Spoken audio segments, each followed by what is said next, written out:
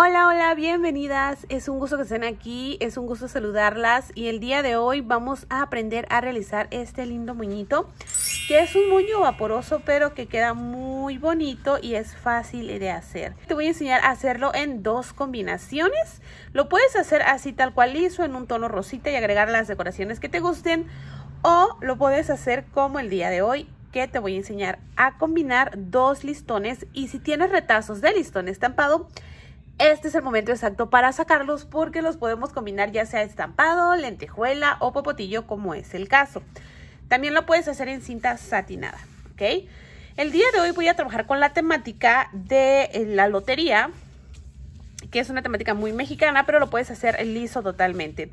Este listón de lotería lo encuentras a la venta en la tienda de la moñería por Ana Calcaneo. Recuerden, ellos se encuentran en la ciudad de eh, Tapachula y hacen envíos nacionales e internacionales. Les dejo su página en la descripción del video.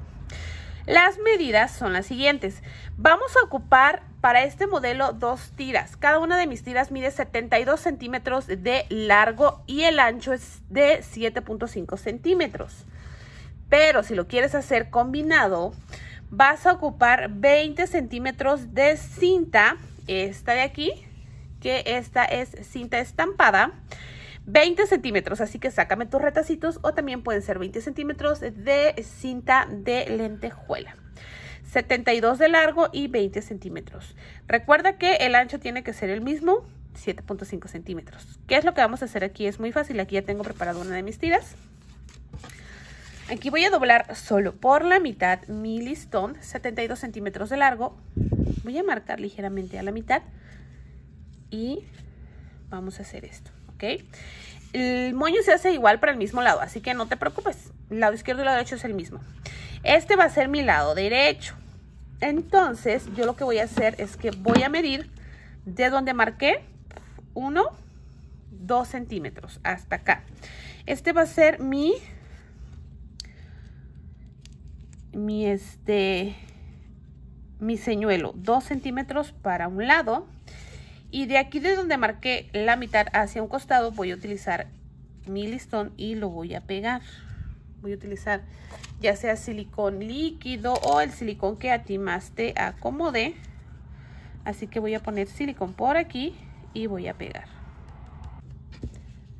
Recuerda que únicamente ocupas 20 centímetros de cinta estampada. Si no le quieres poner la cinta y lo quieres hacer así liso como este de aquí, está bien, no pasa nada. Simplemente omite el paso de pegar la cinta. No es necesario. Y de igual manera, de donde marcaste la mitad hacia un costado, en este caso estampado, marcamos 2 centímetros. ¿Por qué estoy marcando estos 2 centímetros? Porque estos son mis señuelos para hacer el doblez que voy a trabajar más al ratito. Entonces me queda así, ¿ok? Lado derecho, lado izquierdo es lo mismo, pero en este caso la cinta se pega hacia el lado izquierdo para que se vea ahí. Ahora, ya que tenemos esto así, voy a pasar primero mi lado izquierdo, que es mi cinta estampada. Justo la voy a doblar hasta acá, mira, hasta donde me marca mi señuelo. Y el otro lado pasa por encima, justo lo voy a doblar así hasta donde marca mi señuelo, que sería un total de 4 centímetros. Ya que lo tengo de esta manera, voy a dar vuelta. Aquí me queda en cruce de X, pero siempre el estampado pasa por abajo y el del lado derecho siempre queda por encima. Damos vuelta así. No quites tu señuelo para que no pierdas la forma, ¿ok? Ya que te queda así, te queda esto en triangulito, ¿ok? Y esto te queda en línea horizontal. Te va a quedar este piquito así y esto en forma de X. Ahora vas a tomar esta pieza que no tiene cinta estampada, la que es lisa, y la vas a doblar hacia el frente haciendo un gajito, tratando de que te quede así casi en medio. Así, ¿ok? Así, en medio de esta, y después la vas a doblar hacia atrás, tratando de que te quede al ras. Aquí te tiene que quedar el doblez al ras y aquí también. Si gustas que te quede más largo con las colitas o los piquitos salidos, hazlo de 80 centímetros, pero con 72 te queda muy lindo. Entonces voy a tomar esta pieza y la voy a pasar aquí, que es mi listón, eh, que es mi alfiler sobre mi listón. Ahora me va a sobrar esta pieza de acá. ¿Qué es lo que voy a hacer con esta pieza de acá? De igual manera, mira aquí ya estoy perdiendo mis, mis 4 centímetros de ancho, entonces hay que respetar que no se me mueva. Ahora voy a tomar esta de acá y la voy a pasar hacia atrás o hacia abajo. De igual manera tratando que me quede a la mitad. A la mitad igual que esta. Que la mitad sería aquí donde está mi estampado. Para que no pierda su forma, ¿ok? Justo a la mitad. Y la paso hacia el frente. Se va a ver por debajo así. Ahora hacia atrás la doblo tratando que me quede de esta manera, que me quede al ras una como de otra. Ahora sí, ya puedo mover mi alfiler porque ya voy a marcar todo completo. Entonces me queda esto así. Me queda este para acá y este para acá. Ahorita lo voy a acomodar más derechito para que me quede recto y podamos coser parejito. ¿Ok? Así es como nos queda. Aquí sí me salen dos puntitas, pero muy pequeñas. Ya depende de ti si quieres más largas las puntitas, puedes dejar más larga la tira de listón. Esta es una parte, ahora vamos a hacer la otra parte. Mira, esto me queda derechito y estos me quedan al ras. De igual manera, ¿ok?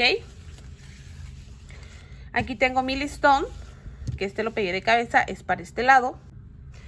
Vamos a marcar por la mitad, ya pegué mi listón, ahora voy a marcar de donde pegué que es la mitad hacia el lado derecho, 2 centímetros y voy a tomar mi señuelo que sería este hacia acá.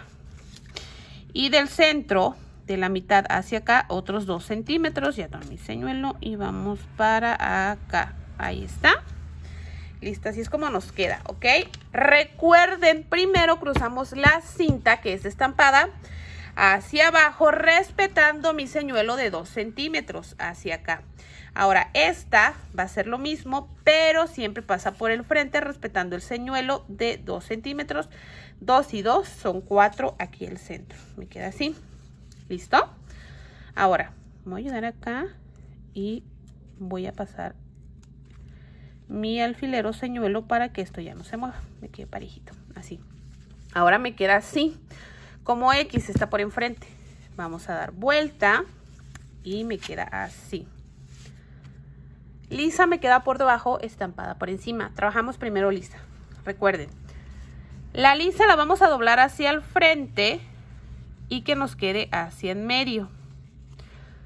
Así. ¿Ok? Si gustas, vuelves a poner tu señuelito ahí para que no se te mueva. Hacemos lo mismo con esta estampada y pasa por acá. Y nos vamos asegurando de que nos quede, ojo, de que nos quede parejito esto con esto aquí. También tómalo como referencia para que se te haga mucho más fácil. Que te quede liso y recto aquí y esto parejito aquí para que te quede igual. Entonces vamos a poner tu alfiler de nueva cuenta con mucho cuidado hacia el frente. Ya que lo tienes así, ¿qué es lo que sigue? Bueno, pues esto lo vamos a doblar hacia atrás. Así. De esta manera. Vamos a emparejar que nos quede tanto en medio y de nueva cuenta ponemos nuestro alfiler. Doblamos y ponemos nuestro alfiler. Ahí está. Así es como nos queda este otro lado que les dije yo lo puse al revés porque va para abajo y va a ser conjunto con el estampado de este lado que lo puse viendo hacia arriba. Ahora, antes de coser, vamos a comparar con nuestro otro lado que nos tiene que quedar del mismo tamaño. Así que ponemos de frente. Recuerda, en este lado el listón lo pegué viendo hacia arriba y en este lo pegué de cabeza para que me hiciera el conjunto así que me quede así la sirena parada y aquí la rosa en este caso. Entonces checo que esto me quede así parejito. Ahí está. Y que esto del centro también me quede igual. Ahora vamos a coser o vamos a ir banar y aquí les voy pasando la medida de esta parte que nos debe de medir aproximadamente 15 centímetros. Y esto en total unos 20 centímetros. 19, 20 centímetros más o menos ahí. ¿Ok? Ahora vamos a hacer lo siguiente. Vamos a empezar a coser. Es muy fácil ya que tenemos estas dos partes parejitas vamos a coser y ya tengo aquí mi hilo y aguja recuerden yo utilizo hilo de tapicero porque es más resistente entonces voy a empezar con este que me queda del lado izquierdo voy a empezar con este hacia abajo y me voy 1 2, 3 y en el 4 llego aquí donde está mi pieza de arriba, 4, 5, el 6 es chiquito porque va en medio y une, el 7 va entre estas dos, 7, 8 y 9, un, aquí el noveno tiene que terminar en este doblez de aquí. Y de ahí nos vamos un poquito más largo. 10, 11, 12, 13 puntadas aprox. Jalo hilo de esta manera. Así. Antes de quitar los alfileres me aseguro que haya acomodado bien mi hilo. Y en la parte de medio queda uno donde empieza, una puntada aquí donde empieza y dos en medio y otra donde termina para que tomes en cuenta. Entonces lleva una que entra, dos en medio y otra que sale. Y ahora voy de este lado. Recuerden, empiezo hacia abajo. Y vamos a hacer una, dos, tres. La cuarta justo aquí donde está este doblez. Cuatro, cinco. La sexta baja aquí justo en medio. Y la siete une este y este por debajo. Siete, 8 y el 9 sale justo aquí donde está mi alfiler. Para que tome en cuenta ese doblez, no se me vaya a andar perdiendo el doblez. Y nos damos 10, 11, 12 y terminamos 13 puntadas. Ahí está. Checamos bien que nuestra puntada sea igual que esta. Una que entra, dos en medio y una que sale una y una entonces son las mismas puntadas ahí pueden ver ustedes y ahora sí vamos a quitar nuestros alfileres ya que tenemos todo seguro. Y jalamos con cuidado. Así de fácil. Bien. Las puntadas aquí son muy importantes y es muy importante que siempre iniciemos hacia abajo porque si iniciamos hacia arriba, lo que hacemos es que estas dos tiras, en vez de que te queden hacia atrás y te despacio, te van a quedar hacia el frente. Y vamos a unir también por enfrente con unas puntadas. Y hacemos un remate. A mí me gusta así porque ya en sí el moño es un moño de un tamaño considerable. Y ahora vamos a pasar por la parte de en medio un listoncito de aproximadamente unos 2 centímetros.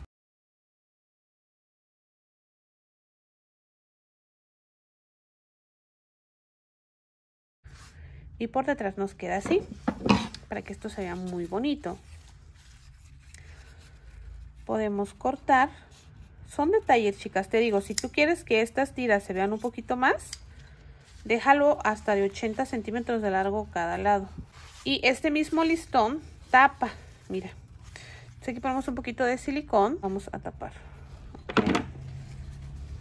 Acá y acá lo puedes montar sobre bandita o diadema. De cualquier manera queda, queda muy lindo porque es un moño vaporoso, esponjadito. Así es como queda este modelo. Espero les haya gustado. Y si es así, no olviden dejar su super like. Suscríbanse, comenten y yo las veo en otro videito. Chao, que les vaya muy bien. Bendiciones.